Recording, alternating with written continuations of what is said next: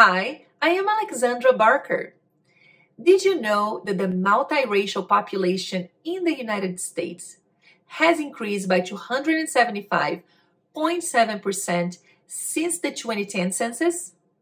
If you're looking for data about race and ethnicity for 2010 and 2020, in this data gem, you'll learn how to use an interactive data visualization to access data and identify trends for the nation, state, and counties. Let's join Megan Rabe to learn more about this resource. Hi, I'm Megan Rabe. I'm a demographer and visualization developer in the Population Division at the Census Bureau. Today, I'm going to show you how you can use our visualization to find data for racial and ethnic groups for the nation, your state, and your county based on the 2020 Census redistricting data. You can find the race ethnicity in the United States visualization on census.gov in the Infographics and Visualizations library, or by clicking on the link above or in the description of this video. I'm going to click on the full screen button to make the viz a bit bigger.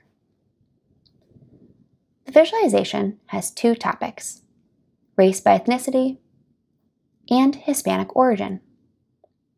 The race by ethnicity topic allows you to first select a race alone group, race in combination group, or race alone or in combination group. More information about these topics is located at the bottom of the page. Selecting the Hispanic origin topic allows you to find data for the total Hispanic or Latino population or the total not Hispanic or Latino population. Race by ethnicity is currently selected when you open the viz.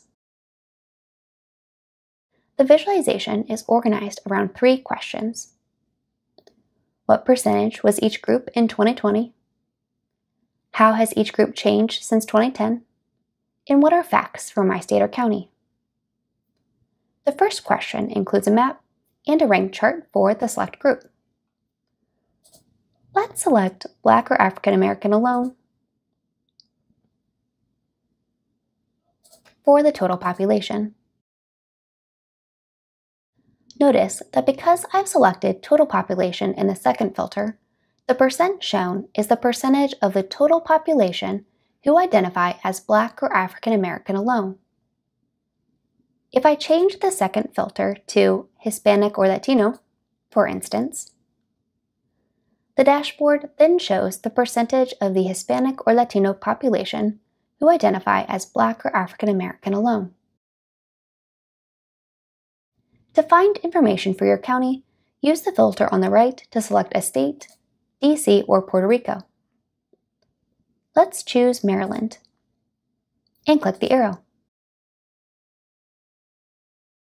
Here we can see that Prince George's County has the highest percentage of people who identify as Black or African American alone.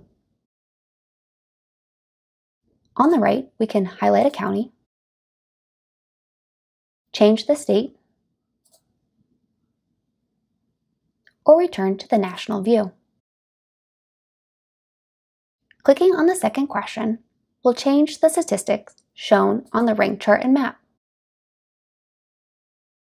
Now we're viewing percent change, which represents the degree to which the group increased or decreased from 2010. Like before, we can change the state and click the arrow. Let's take a look at Cass County. Here we can see there was a 278.2% increase in those who identify as Black or African American alone, which represents an increase of 9,535 people. Clicking on the last question will take you to the data table page.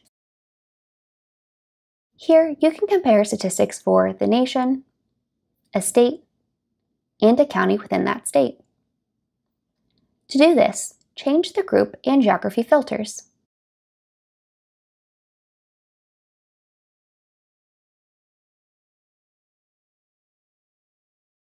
and click the arrow. If you want to change the group, but not the geography, note that you will still need to click the arrow to change the table. I hope you enjoy using this visualization to explore data on race and ethnicity compositions for your state and county. Megan, thank you for sharing this great resource with us at Census Academy. And if you'd like to learn more about race and ethnicity data, visit census.gov slash academy and subscribe. Thank you.